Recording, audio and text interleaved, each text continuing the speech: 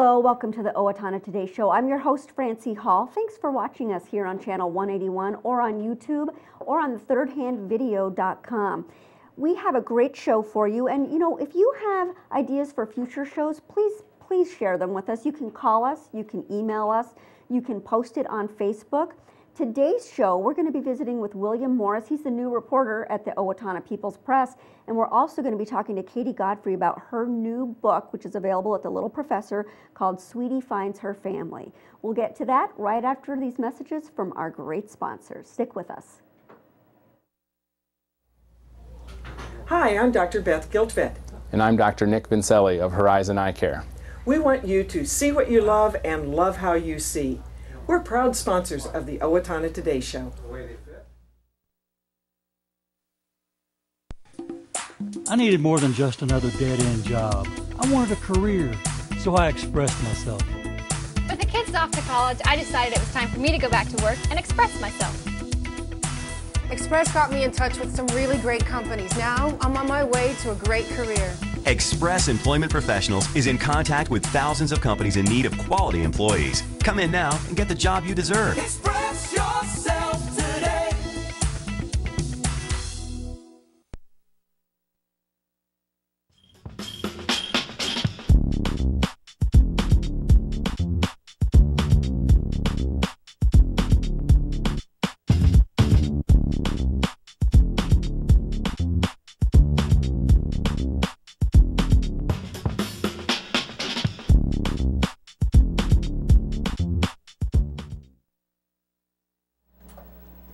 Welcome back. I am here with William from the Owatonna People's Press, William Morris, and we're going to ask him the burning question that I'm sure you have.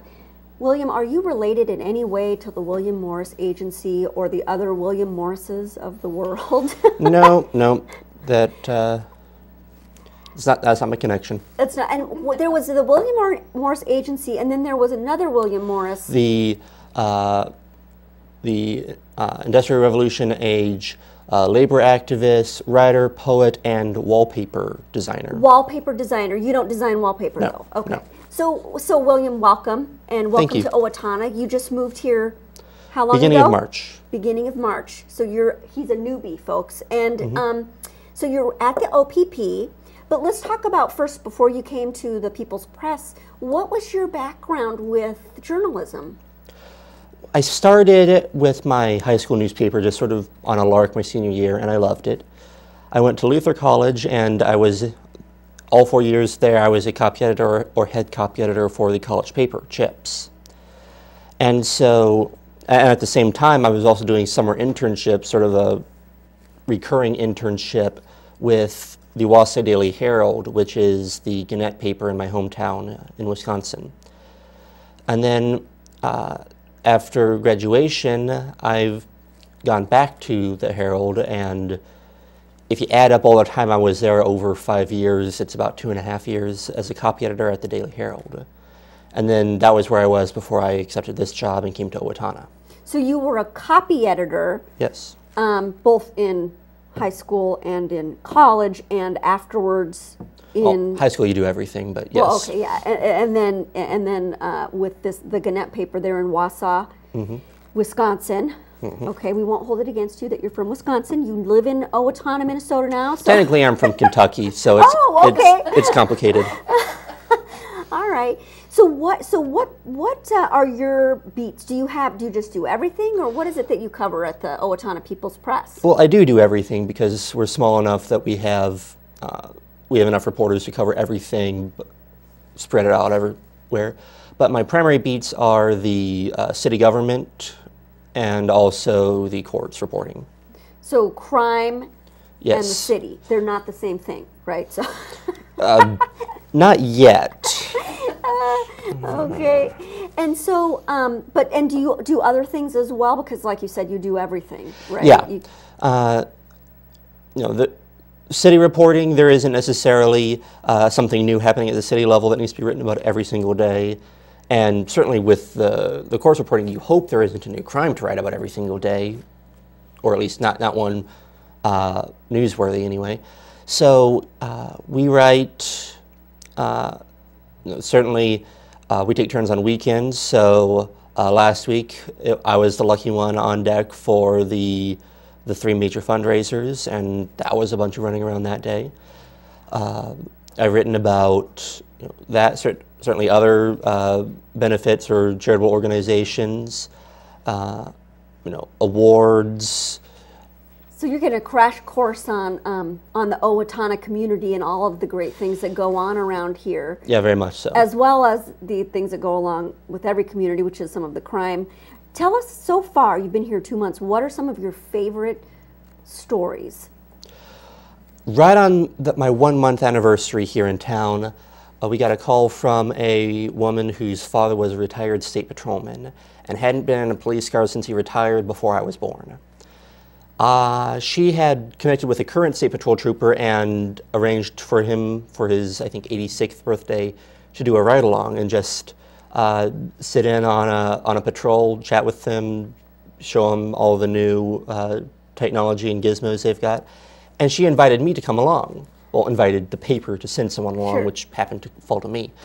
And so I got to spend three hours on a Friday sitting in the admittedly cramped back of this patrol SUV listening to these guys swap stories and uh, talk about the different you know, events they've provided protection for, the some of the you know, more exotic uh, arrests or cases they've worked. And it's just, I'm getting paid to do this. And you like it. You love to get paid to. So you were just getting to listen to these two people, these two Yeah, was- patrolmen, that talk was- about their their experiences, and that was that so much, cool. so much fun, so much fun. Awesome. Uh, uh, I wrote about uh, a local girl, Megan Copeland, who's uh, went to, can't remember if it was the, the final or the second to last level of, a, of an international essay contest with the Lions Club, and really impressed with her.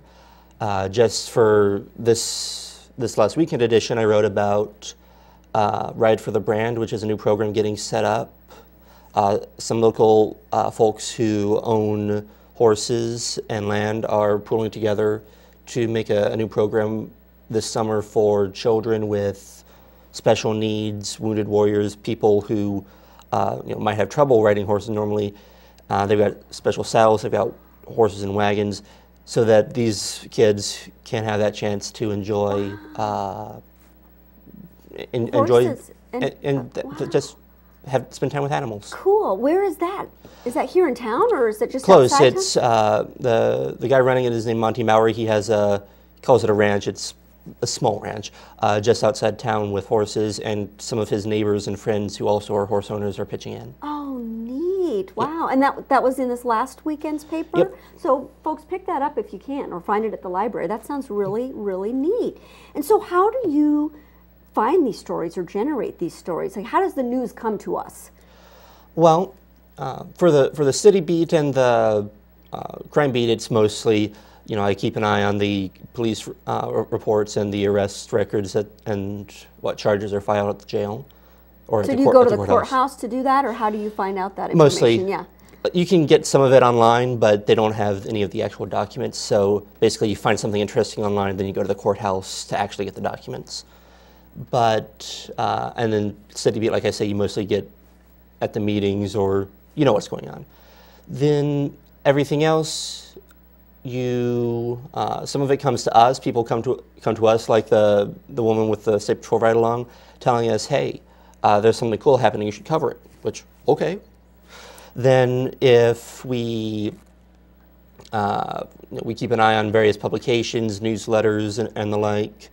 Uh, some uh, some things we just uh, you know sometimes someone who, who works at the People's Press has heard about something in their uh, their their at home life and just and brings it in and says, "Hey, I heard about this thing," and I'm like, "Oh, okay." Okay. So So you research some of it, you look for it in some places, Yeah. some of it comes to you yeah, by the and public. a lot of it's just keeping your ears open and and keeping an open mind for. Hmm, I wonder if there's a story in that. Ah, so keeping your ears on. Mm-hmm. All right, cool. And so, um, what is it that you hope to to do while you're here in Owatonna at the People's Press? Do you have any burning aspirations? Not terribly. No. mean, Just keeping your ears open and looking for that good story. Yeah, I'm, I'm not. I'm not hoping. You know, if there, if the, if the next big story breaks here, I certainly hope to write it. But uh, normally, if the next big, big story happens, that's because something bad happened to someone. So you wouldn't want to wish that on anybody. No. But, you know, that certainly it's our job to be prepared for that. Sure. But but in the meantime, just keep getting to know the people, getting to know the town. Uh, already, you know, driving around, I, am recognizing people I see at city hall meetings or or who I've written about or met in the Carosa stories. So I probably already know more people around town in Owatonna than I did living in uh, with Wausau since 1998. Wow, that's amazing. So you're just getting a crash course, meeting all kinds of people, learning Mhm. all kinds of things, and hopefully educating us along the way with all the stuff that you are, you are learning too. It's my job. Yeah, all right. And you, I think you're the person who covered the story about the Target uh, theft, right? If you- I don't know if you folks read about this, but what? On, on today's file of crimes that could have gone better. Uh, crimes that could have gone better. I didn't mean to laugh about this crime, but it is kind of it is kind of funny. So Yeah, you, we, we, we try to remember whenever we're laughing about some of the, the sillier crimes that they're crimes because someone someone got hurt along the way, and you don't want to take it too lightly. But we still have to chuckle a little bit about this one. The the the folks who broke into Target and robbed their ATM, and then walked out on the freshly fallen snow and walked to their car that was sitting right in the right in the camera view on the, the lane next to it, and then drove to the hotel next door where they had a room under their name. these are not the world's smartest criminals. Yep. Oh, Mm, it didn't work out so well for them. Oh my goodness. Well, um, so Although I, I should note that the, that's that's according to the complaints. That course is still working its way through. So okay, so this is all alleged Yes. crime that happened, and they allegedly walked through the snow after Mhm. stealing Yeah. the Yeah, stuff that- from the ATM. that, that that's that's the case that they made in the in the complaint. So Oh, my uh, goodness. keep an eye on that and many other cases to see what happens. All right. Well, um, and then I understand you were briefly a teacher, right? Yes. At, at was it? I'm sorry. Was it high school level? Yeah, Holy Family Catholic Schools in Dubuque. I taught at Wahlert, and uh, wasn't very good at it and didn't enjoy it. And I'm much happier where I am now. So you liked you, you and and your background is in English. English. So, um, and then you of course you had the writing experience throughout high school and college, and then afterwards. now So, here. so we have got an experienced. You were a copy editor, and now you are a reporter.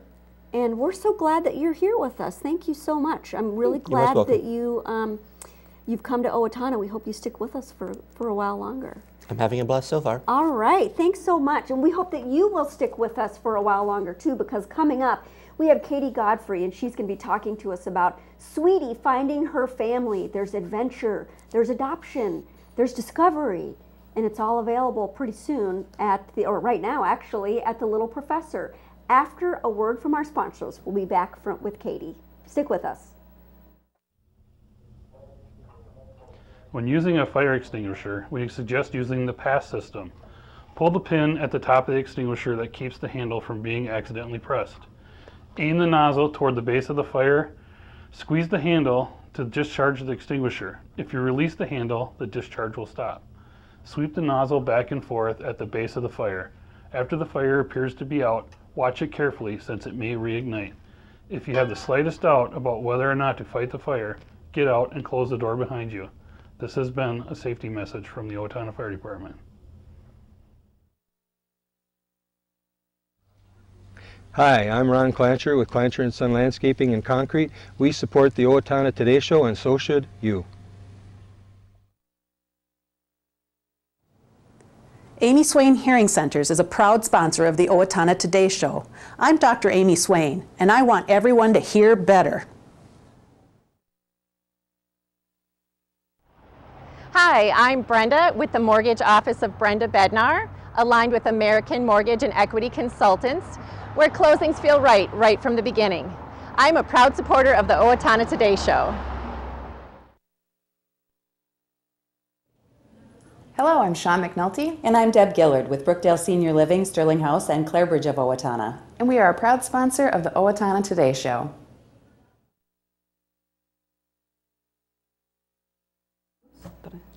Hello, we are back with Katie Godfrey. You know her probably as the tourism director for our local Chamber of Commerce here in Owatonna. But did you know that she is also an author and uh, she has written an adorable, adorable book that she's going to share with us right now. And so, Katie, welcome. Thank you. Thanks I'm for having me. Oh, I'm so excited to have you because uh, doesn't everybody aspire to write a book? I know I do. Um, and so maybe I'll be inspired to do so. But tell us a little bit about what got you thinking about writing this book Mm-hmm. and what it's about. Sure. So, um, after I graduated from college in 2008, I ended up working on a few different organic vegetable farms.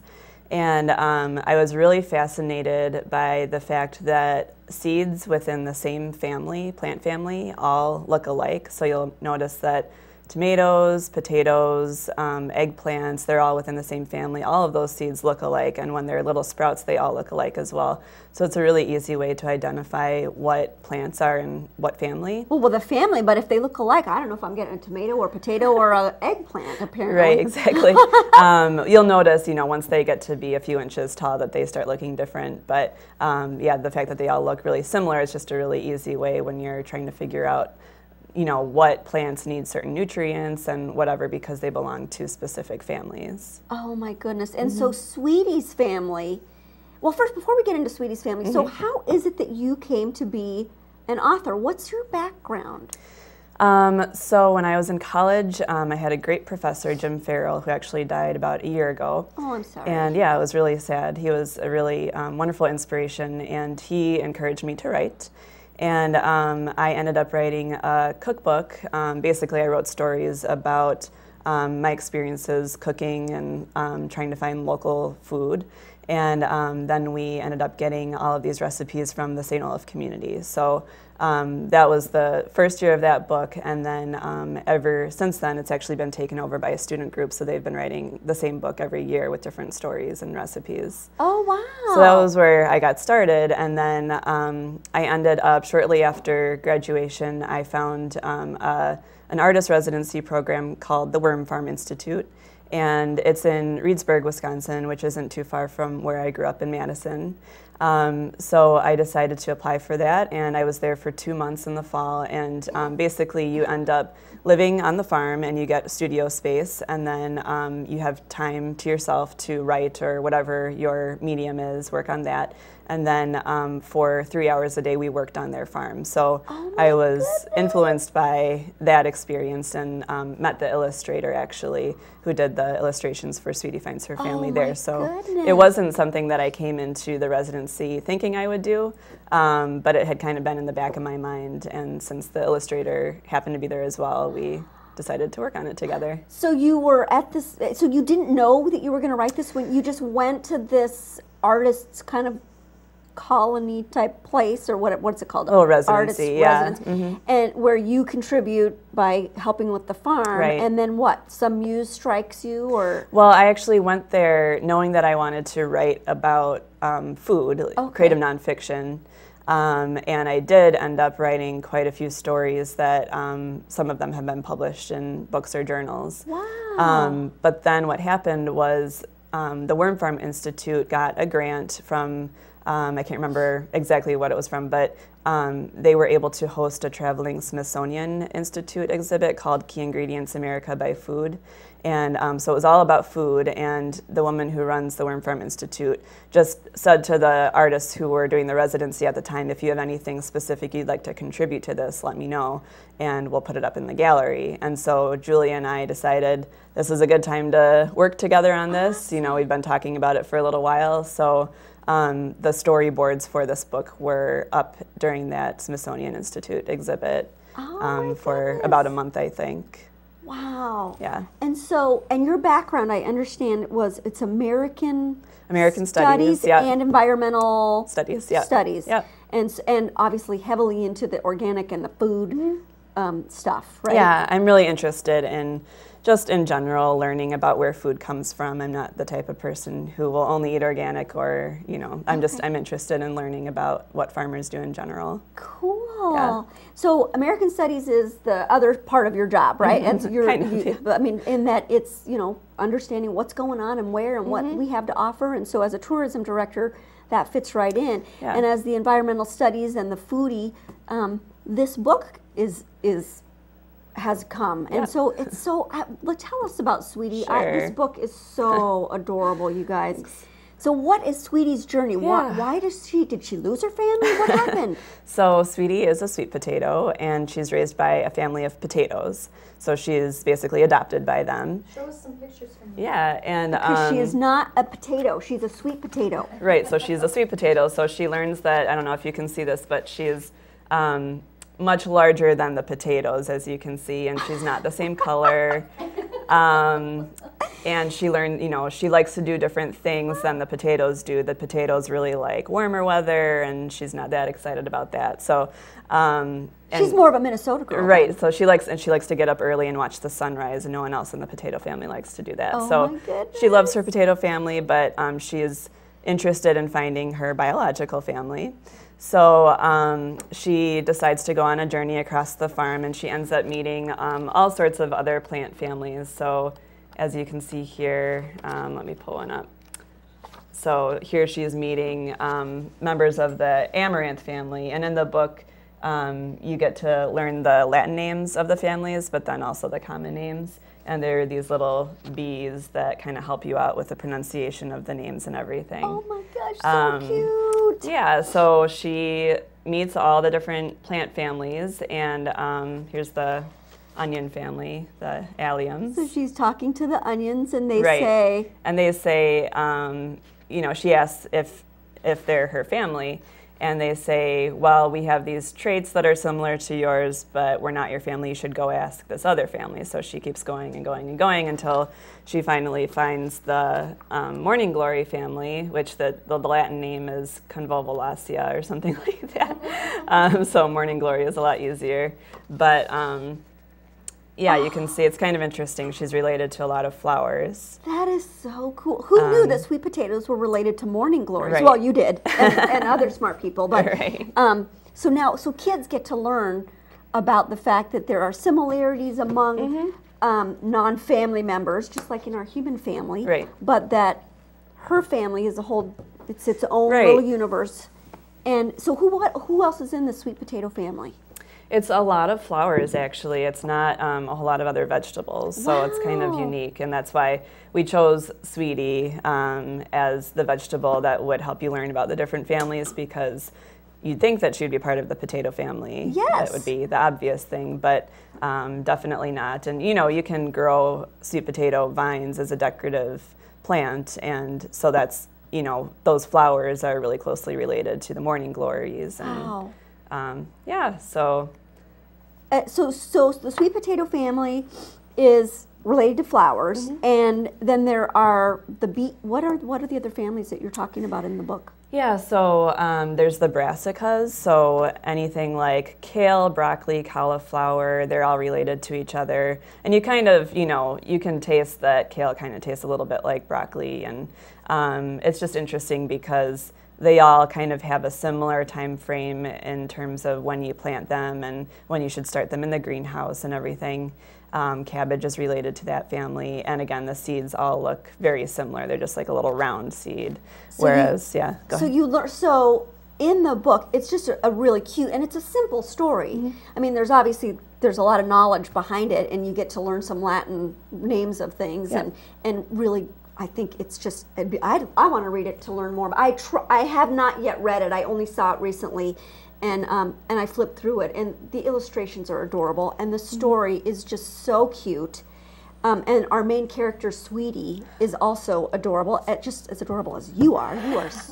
So, what else can you tell us? Tell us just the the storyline Mm-hmm. and and what's the. Uh, do, should we tell the ending or should we not? No, but it's it We're is also a story about adoption, which was not our intention, but um, it's a great way to learn a little bit about that experience too. I mean, um, but one thing I should mention quick is that I will be doing a book signing um, at the Little Professor Book Center this Saturday, May second, from 10 to noon. Oh my goodness. And so I'll be there and um, we'll be selling books there and I'll do a signing and it's also the first day of the farmer's market. I was going to say it. Yeah. And it's also National Free Comic Book Day. So So are they going to give away free comic yep, books apparently too? that's a thing. Yeah. Oh my goodness. yeah, so definitely try to make it out there. So this Saturday, I'm sorry, did you say 10 to 10 to noon. 10 to noon. Yep. You're going to be there. Okay. Um, and so we can pick up your book at the Little Professor. Yes, you can. You can learn about adoption. You can learn about um, the different families. Mhm. You can learn about the fact that we are all related in some way and have similarities, even though we are different. That is amazing. Yeah. Thank you so much Yeah. for coming. This is just so cute, and I'm definitely going to go get that book at the Little Professor this Saturday. Oh, great. So. Um, that's all the time we have with Katie, unfortunately. Um, but we'll have you back for sure with your next book. Yeah. she's got she's got another one um, in her head. Um, so stick with us after a word from our sponsors. Hello, my name is Katie Marshall. A year ago, my family and I became homeless. We were scared and alone. Today, with the help of Steele County Transitional Housing and generous donors like you, my family and I are safely housed. I am working, going to college, paying my rent on time. My children have a warm bed to sleep in every night. My family and I are so grateful for this second chance. Please help others in need by donating to transitional housing today. Everyone deserves a safe place to live.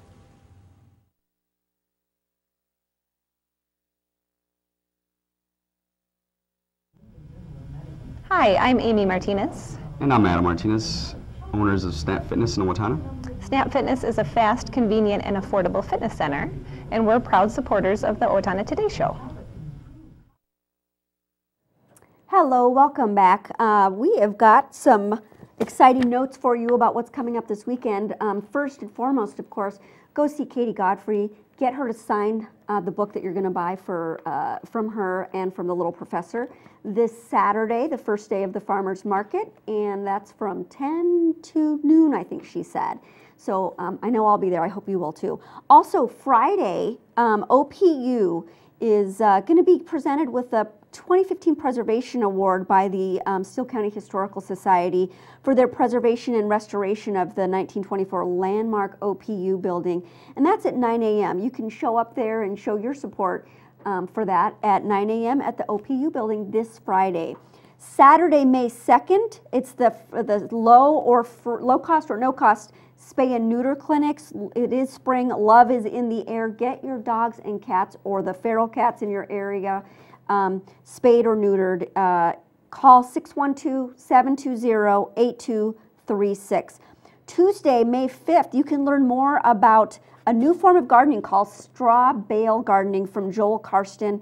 That is at the Owatonna Public Library, May 5th, 6.30 to 8 p.m. And uh, looks like May 2nd, Owatonna Art Center is hosting the Spontaneous Productions Improv Group. They are really funny. You should definitely go and see that. Tickets are $10 um, at the Art Center for members and 15 for non-members.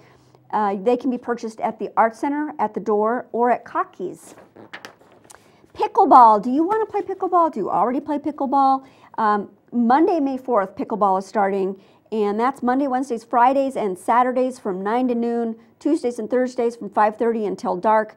Uh, that is at Morehouse Park. I think that's all the time we have right now.